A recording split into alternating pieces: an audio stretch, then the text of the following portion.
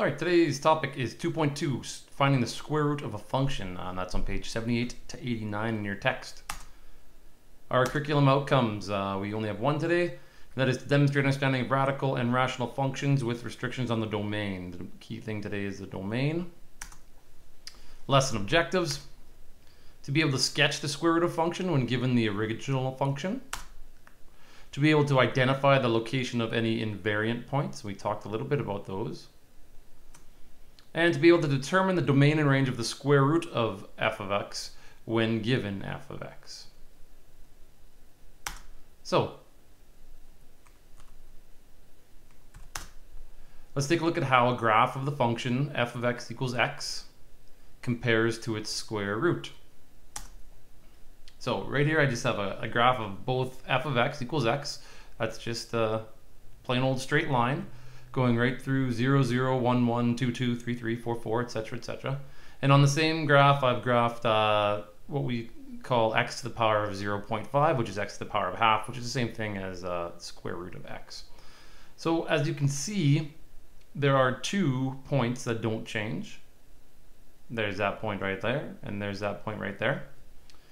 And every other point, if we take a look at the blue function, the original function, every other point is found by simply taking the square root. So up here it has a height of 4. If I take the square root of 4 I should get a 2 and I do. Okay, so every point on the red graph is just the square root of a point on the blue graph. So if I take the square root of 1 I get an answer of 1 because the square root of 1 is 1. If I take the square root of 0 I get an answer of 0. Notice that we have no red graph underneath the x-axis because when you take the, you cannot take the square root of a negative number. So that is a restriction on the domain and the range. So how do the domain and the range compare? Well, on the original graph, it could be graphed anywhere. So the domain is XER, which we've talked about before. And the range also happens to be YER. But on the new function, it can only be x is greater than or equal to 0. And as a result, y is also greater than or equal to 0.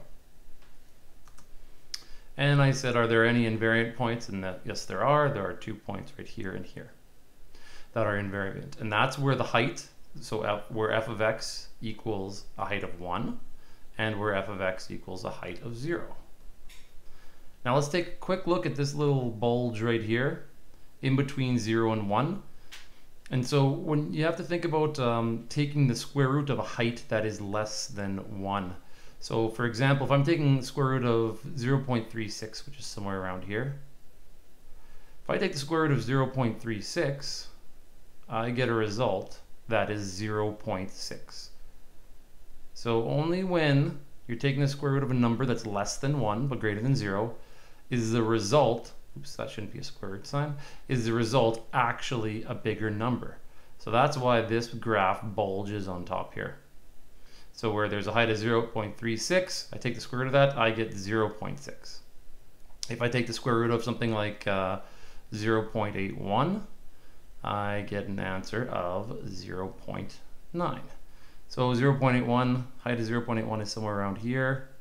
My answer is actually higher. So that's the reason for that little bulge there.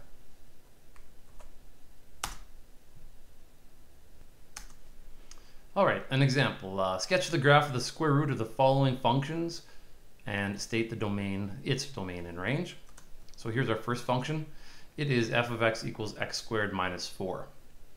So in order to draw the square root of this function, which would then be x square root of x squared minus 4, we need to just first find the invariant points. So here's one invariant point. That's where the height is 0.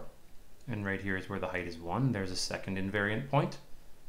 On the left-hand side, there happens to be two points that are also invariant. And that's where the height is 0 and the height is 1.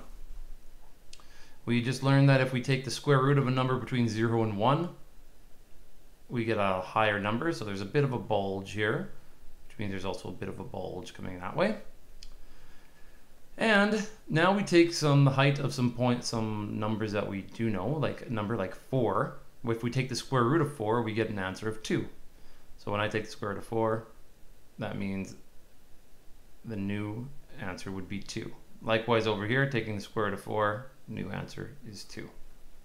So here's our function, looking something like that. So you're going to try and draw a smooth curve as much as possible.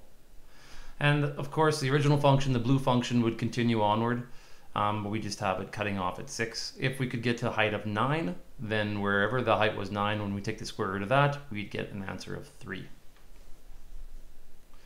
So it asks us to state the domain and range. Well, the domain is all the x values of this function. And this one's a little bit tricky because there appears to be two pieces of this function. So using the right notation, we say that x is going to be greater than 2 because it's everything to the right of 2 and x is less than or equal to negative 2 so everything to the left of negative 2 and then at the end we say xer which means it's all the numbers that are greater than 2 and less than negative 2 the range happens to be everything that's greater than 0 because our graph starts at zero and moves upwards in both cases. So our range is going to be y colon y is greater than zero yer. Now, one of the main things you really need to get out of this lesson today is that you can't take the square root of a negative number. So sometimes your square root function, like this one is x squared minus 4, the square root of x squared minus 4, may not exist in certain places. So for this example, it doesn't exist between negative 2 and 2, but it does exist to the right of 2 and to the left of negative 2. Second example, we've got f of x equals 2 times the absolute value of x plus 1. So again, we start with finding our invariant points. Now, there's only one of them in this case because there's only a height of 1 in one spot. Nowhere does this function cross the x-axis, so there are no uh, points where the height is zero. And now we just start taking points that we know, like a point with a height of four right here. Um, and it gets, when you take the square root of that, it becomes two. Up top here, we've got a height of nine. We take the square root of that, it becomes three. Likewise on the left, height of four, take the square root, we get a two. And a height of nine, take the square root, we get a three. So if we can connect all these with a nice smooth curve, we will get the general shape of the square root of 2 times the absolute value x plus 1. Now its domain, we're talking about it how far it goes from left to right. Well, it's continuous, which means it doesn't, there's no little breaks in this graph. So that is going to be xer for its domain. And its range starts at a height of 1 and goes upwards. So the range in this case is y is greater than or equal to 1, y-e-r. And I should throw in a little y colon there. So by looking at the original function, you can now sketch square root functions, no matter how um, similar this may be to something that we've sketched before or if it's something that might be totally new to you, like the square root of 2 absolute value x plus 1. All right, in summary, to find the graph of the square root of a function, simply take the square root of all the y values of all the points of the original function. So you just need to know what the shape of that original function is. That means that the invariant points will be the points that have a height of 0 and 1, since when we take the square root of 0, we get 0, and we take the square root of 1, we get 1. And since you cannot take the square root of a negative number, wherever f of x is less than 0, which just means where it's below the x-axis, the square root of f of x will not exist. And that means the domain and range may change from your original function to your square root function. You just have to uh, use some common sense and uh, and see if when you take the square root of a number, if you can actually get an answer or not. And that wraps it up, but we've got an assignment on page 86 to 89. good luck, and we'll see you tomorrow.